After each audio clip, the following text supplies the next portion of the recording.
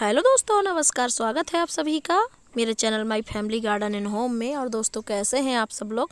आशा करती हूँ अच्छे होंगे, स्वस्थ होंगे और आपकी गार्डनिंग जो है तो बढ़िया से चल रही होगी। तो चलिए दोस्तों, शुरू करते हैं आज का वीडियो। और आज मेरे गार्डन में होने वाली है ढेर सारी हार्वेस्टिंग। और कुछ ऐसी चीज़ें मैं करने वाली हूँ जिसमें बताऊँगी कि मैं जो पुराने पौधे हैं, उनकी सारी हार्वेस्टिंग करने के बाद उसमें क्या लगाने वाली हूँ मैं, अगले सीज़न की तैयारी में क्या कर रही हूँ। तो चलिए शुरू करते हैं। तो यहाँ से देखिए मैं टमाटर की हार्वेस्टिंग शुरू कर देती हूँ तो मैंने यहाँ से टमाटर तोड़ना स्टार्ट कर दिया है। जैसा कि मैंने बताया था कि मेरे पहले के ग्रो बैग में लगे हुए टमाटर के प्लांट हैं। और दोस्तों, अगर आप अभी टमाटर लगाना चाहते हैं तो अभी फरवरी चल रहा है, फरवरी में आप टमाटर लगा सकते हैं। और इसके बाद अगर आप ज़्यादा लेट लगाएँगे तो फिर जो गर्मी ज़्यादा आती है, हमारी मई की गर्मी आ जाती है, तब तक अगर आपका टमाटर में फूल आ रहे हैं तो फिर उतनी अच्छी हमें फ्रूटिंग नहीं मिल पाती है, क्योंकि उस टाइम पे गर्मी ज़्यादा होने के कारण फूल ड्रॉप हो जाते हैं, उतनी अच्छी हमें फ्रूटिंग नहीं मिल पाती है और पौधे कई बार ज़्यादा गर्मी होती है हीट की वजह से सूखने भी लग जाते हैं।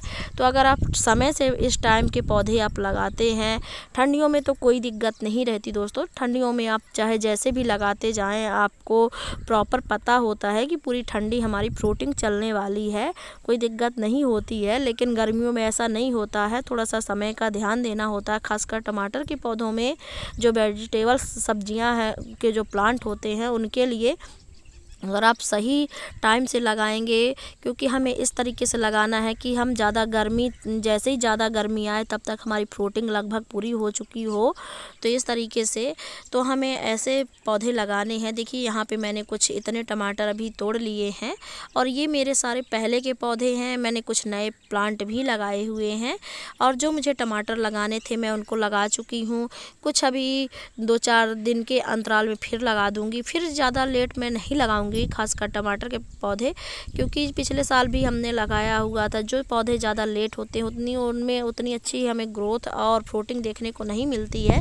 तो देखिए, यहाँ से मैंने काफ़ी सारे टमाटर तोड़ लिए हैं और देखिए, प्लांट जो है मेरे तो पुराने हो गए हैं, इनको मैं हटाने वाली हूँ, क्योंकि इनमें मैं भिंडी लगाने वाली हूँ। भिंडी के पौधे जो है, सीड है, मैंने डाल दिए हैं मिट्टी में तो जैसे ही भिंडी के पौधे तैयार होगी, मैं, क्योंकि मेरे हम टेरेस गार्डनिंग करते हैं, उतने कंटेनर हमारे हमारे जो होते हैं ग्रो बैग्स होते हैं लिमिटेड होते हैं तो उसके लिए अगर आपके पास ग्रो बैग आपके खाली नहीं है, पौधे कुछ ऐसे हैं जो अभी दस पंद्रह दिन का टाइम ले सकते हैं तो कोई बात नहीं, आप पॉलीथीन में या थर्माकोल के जो ग्लासेस होते हैं, उनमें सीड लगा सकते हैं, या किसी ग्रो बैग में एक आध ग्रो बैग खाली कर लीजिए और उसमें सारे बीज लगा दीजिए पास पास में, और जैसे पौध तैयार हो, फिर आप उनको रिपोर्ट कर दीजिए। तो मैं तो इसी तरीके से करने वाली हूँ, क्योंकि कुछ पौधे मेरे हैं जो खाली हो रहे हैं एक खाली हो रहे हैं, पौधे ख़त्म हो रहे हैं क्योंकि उनकी फ्रूटिंग जो है तो मैं तोड़ ले रही हूँ, जो जितनी भी है तो हार्वेस्टिंग कर ले रही हूँ, जैसे ये मटर का प्लांट है मैं इससे हार्वेस्टिंग कर ले रही हूँ, जितने मुझे मिल रहे हैं, क्योंकि अब मुझे पता है कि इसमें ज़्यादा फ्रूटिंग नहीं होगी, फ्लावरिंग भी कम होगी, पौधा पुराना हो गया है तो मैं इसे हटा लेती हूँ और जो कुछ मुझे लग रहे हैं कि अभी इन्हें दस पंद्रह दिन के लिए छोड़ना चाहिए, पक जाएँगे और टमाटर तो उन पौधों को मैं दस पंद्रह दिन का और टाइम दे दूँगी। तब तक मेरे जो पौध है वो तैयार होकर रेडी हो जाएगी। तो आप इस तरीके से भी कर सकते हैं। और देखिए, ये जो टमाटर मेरे तोड़ने का जो पुराने हैं, इनको तोड़ने का यही रीज़न है कि मेरे ग्रो बैग्स हैं जो खाली हो जाएँ। फिर एक सौ एक से दो दिन के लिए हमें मिट्टी को धूप दिखाना है। थोड़ा सा मिट्टी को जो है तो रेस्ट भी देना है, आराम देना है। तो देखिए, ये मटर का प्लांट है। आज मैं इसको भी पूरा पौधा ही निकालने वाली हूँ, क्योंकि इसकी मिट्टी की हम गुड़ाई करेंगे और जो हमारा बेस्टेज खाद था उसको भी देखेंगे कि इसका कैसा क्या रहा। अगर कंप्लीट हुई होगी खाद तो हम यूज़ कर लेंगे, सारे ग्रो बैग्स में मिक्स कर लेंगे, अदरवाइज़ फिर से इसमें कुछ नए प्लांट लगाएँगे। क्योंकि मैं सोच रही थी इसमें चेरी टमाटर लगाने के लिए। चेरी टमाटर जो होता है काफ़ी अच्छा होता है और उसकी ग्रोथ भी प्लांट की जो है तो काफ़ी बड़ा प्लांट होता है तो उसको सोच रही थी इसमें लगाने के लिए। अब मटर का प्लांट जो है लगभग हमारा अपना काम कर चुका है, जितनी उसको फ्रूटिंग देनी थी दे चुका है। तो मैं इसकी आज लास्ट हार्वेस्टिंग करने के साथ साथ इसको यहाँ से हटाने भी वाली हूँ।